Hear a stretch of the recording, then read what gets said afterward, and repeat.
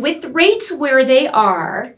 it is amazing how much more home you can qualify for than you could a year ago. So if you were pre-approved last year and you put your home shopping on hold, maybe you got frustrated or couldn't find a home or couldn't get the home that you wanted price point wise and you wanted that four bedroom but you qualified for a three bedroom, you should take a look again this year. We'd love to talk to you if you're in that boat because with rates where they are almost a point or more lower than a year ago, you would be amazed at how much more mortgage you can qualify for for the same payment. Let us uh, partner with you and get you where you want to go in terms of home price, home, um, you know, size, whatever it is. If we can help you stretch your income, figure out how to find more income, pay off debt, um, buy the rate down, whatever it is to hopefully get you into a position where you are not just settling, but you maybe you're able to actually now get that home that you um, had your eye on last year. So give us a call over here at the Oddo Group, uh, Michelle Oddo with the Oddo Group at Leader One Financial.